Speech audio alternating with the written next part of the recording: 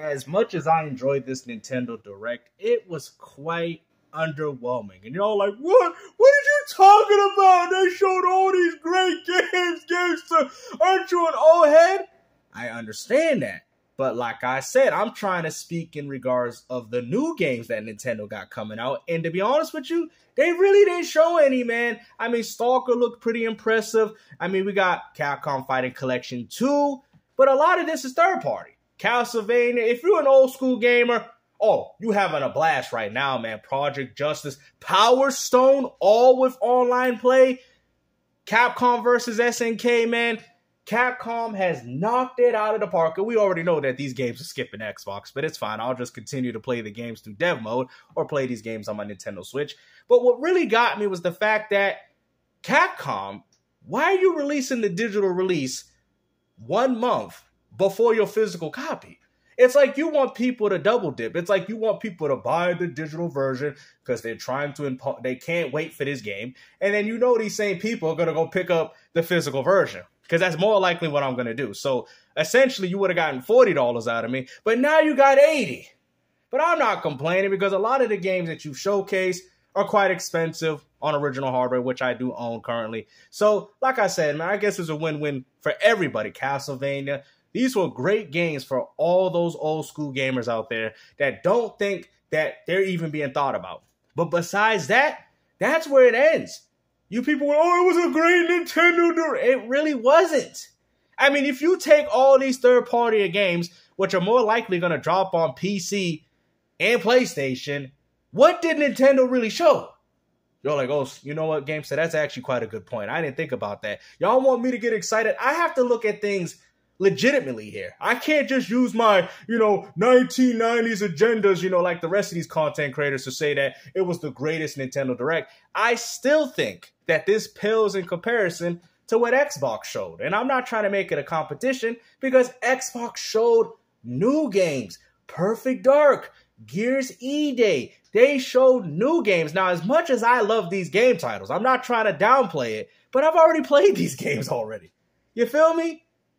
You know, like I'm gonna be looking forward to playing these games on my Nintendo Switch with the online play with Power Stone, but still, I've already enjoyed these games for the past 20 years.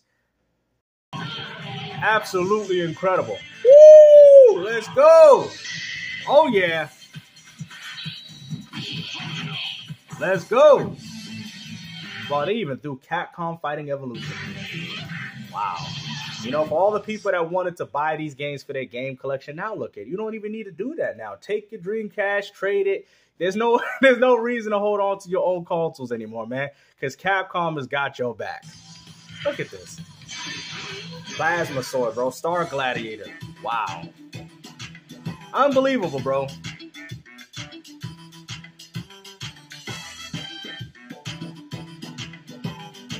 Capcom versus SNK, man. Look at all these classics.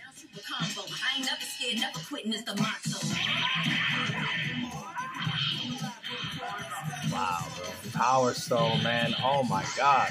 Bro, you know what, Sega?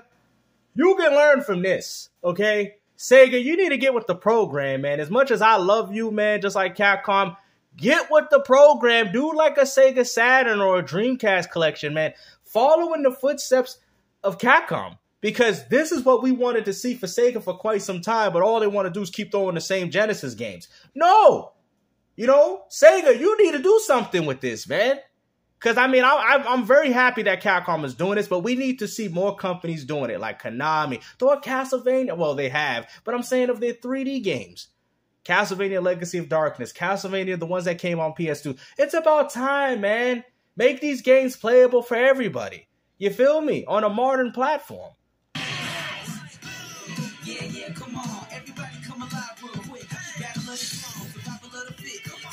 Now let's look at all the games. Worms Armageddon, that's a classic. I remember playing that on the Dreamcast. Disney's Epic Mickey. I'm not like I said, it's an old game. Yakuza, come on. I mean, yes, okay. Rune Factory, oh, five nine. That's what I'm saying. Look at it. Besides the classic games here, look, Castlevania, of course. Dragon Quest, of course. So look, this especially. Come on, man. It's just really these games that stood out, man. I'm gonna be honest with you. All this other stuff they had, what's the other one? Star Star Overdrive. yeah, it looked good. I did see some performance issues with the game, but still, it wasn't like, oh, I gotta get me a Nintendo Switch for it, right? Metal Slug. I mean, come on, these these these were the only games that was really outstanding with the showcase. Personally, for me, that is, you know, I mean, everything else looks like trash. Yep, SpongeBob. I mean, yeah, and then oh no, it ends there. So at the end of the day, they definitely showed more than Sony, but a lot of Nintendo guys are gonna run with this and say, "Look, PlayStation, yo, don't have you." What do you mean? There's not one Nintendo exclusive here. So as much as you people want to downplay that they showed Marvel, Capcom's arcade collections collections through Nintendo's Direct, it's still underwhelming. I mean, look at it. Besides these two, right? And this, and this for some people, Castlevania, that's about four or five good well, actually it's more than four or five games. These are like eight good games. Eight good, that's like 16 right there.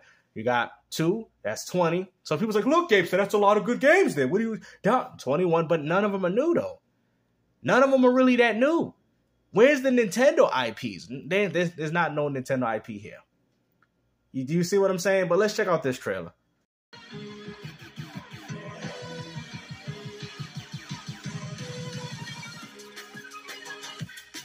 Okay. Looks decent. That's something that I'm looking forward to, but it looks decent. That Stalker, yeah, I'll probably more likely buy. Hopefully it comes on a physical copy. I like to see a physical version of this game.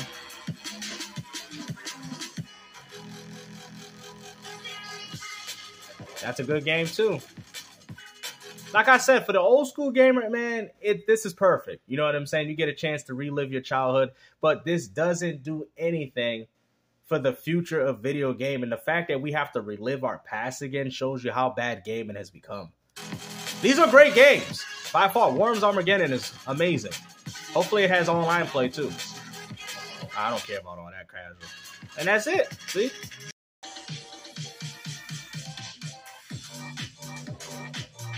I uh, mean, you could tell that a lot of these games are having performance op- uh, performance issues. Look, I can already tell. And I know that game is probably coming on multiple devices.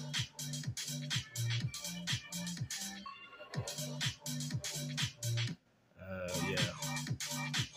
Really think about it, guys. Really think about it before you start claiming that it was better than the Xbox Showcase, because it it wasn't.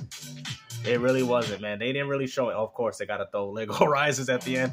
Hey, Sony, we got your games.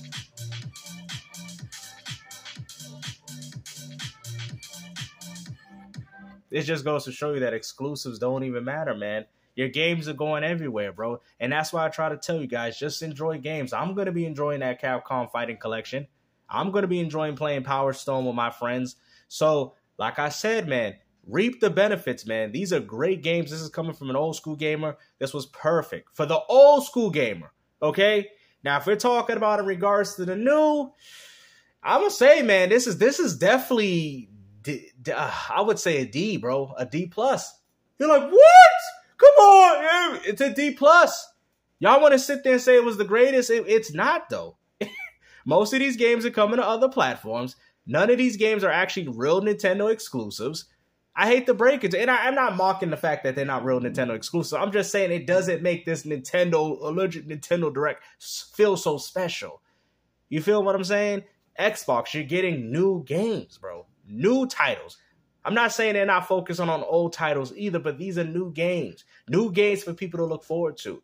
You feel me? Now, if you're nostalgic and you got that nostalgic fix, fix, well, guess what? Nintendo and I guess somewhat of PlayStation, they got your back in that regard, but it also shows you where gaming is really heading.